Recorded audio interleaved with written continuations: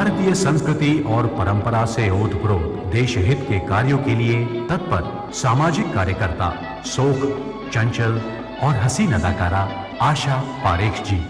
मेरा जन्म मुंबई में हुआ है सेकेंड अक्टूबर 1942 में। सात आठ साल की थी। बिमल रॉय जी ने मुझे बुलाया और कहा तुम फ़िल्म में काम करोगी? मैंने एकदम से हाँ कर दी। मेरी पहली फ़िल्म बाप बेटी में मैंने काम किया। बचपन की छोटी थी जब दस साल की। तब हमारे प्रोग्राम में डांस करती थी वो। लेट हो जाता था कभी तो सो जाती थी तो हम उठाते थे बिस्किट खिलाते थे और फिर डांस करती थी। मेरी पहली फ़िल्म एज अ हीरोइन दिल दे के देखो थी। दिल तक देखो दिल तक देखो दिल तक देखो जी।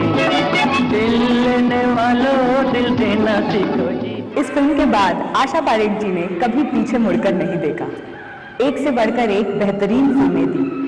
घूंघट तीसरी मंजिल उपकार आए दिन बहार के कटी पतंग मैं तो तेरे आँगन की। ऐसी तकरीबन सौ फ़िल्मों से यह अदाकारा अपनी पारी और मज़बूत करती गई।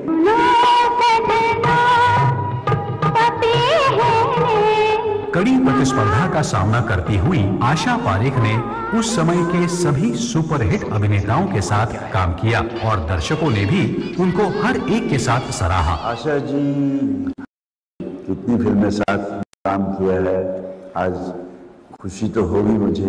इसलिए तुझसे मैं प्यार करूँ कि तू एक बादल आ। Got the Filmfare Best Actress Award.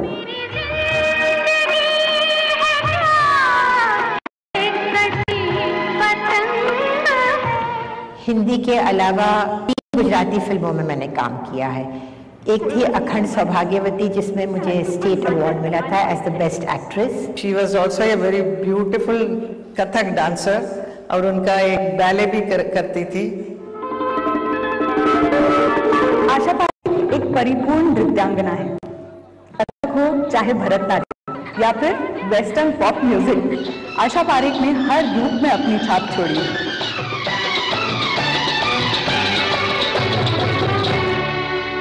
व्यवहार कुशल आशा पारेख उन्नीस में सिने आर्टिस्ट एसोसिएशन की प्रेसिडेंट बनाई गई। वो फ़िल्म सिटी की डायरेक्टर भी रही इतना ही नहीं आशा पारेख जी को फ़िल्म सेंसर बोर्ड की पहली महिला चेयरपर्सन बनने का गौरव भी प्राप्त है। बुरे शब्द नहीं यूज़ करना चाहिए क्योंकि वो असर हमारे बच्चों पर पड़ता है। इसलिए मैं काफ़ी स्ट्रिक्ट रही हूँ और कुछ लोगों को ये बात मेरी बहुत अच्छी लगी और कुछ लोगों को ये बात बहुत बुरी लगी। तकरीबन चार दशक तक बड़े पर्दे पर अपना परचम लहराने के बाद भी आशा पारेख जी ने अपनी रचनात्मक अभिव्यक्ति की गाड़ी को थमने नहीं दिया। डायरेक्शन का शौक तो बहुत था ही पहले से। और सबसे पहले गुजराती सीरियल ज्योति बनाई मैंने।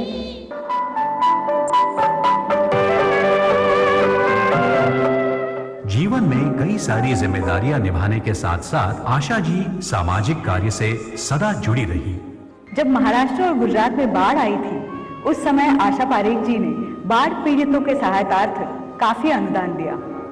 She has done lot of social work also उन्होंने बहुत सुंदर सा एक हॉस्पिटल भी बनाया गरीब जनता के लिए। विलक्षण प्रतिभा की धनी आशा पारेख को ढेरों अवार्ड मिले।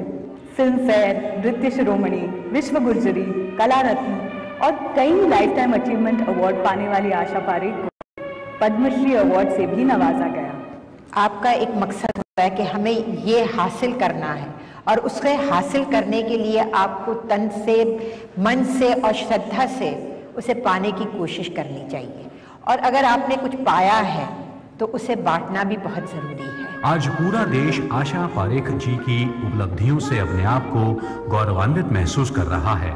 फ़िल्म जगत में इनके विशेष योगदान के लिए प्रतिष्ठित दादा साहेब फाल्के पुरस्कार से इन्हें सम्मानित किया जा रहा है। लॉन्ग टर्म पे जो चलते चलते आज ये अवार्ड जो मिला है she is well deserving girl all the best congratulations to you Asha ji I would like to congratulate Asha ji. Congratulations, Asha ji. God bless you.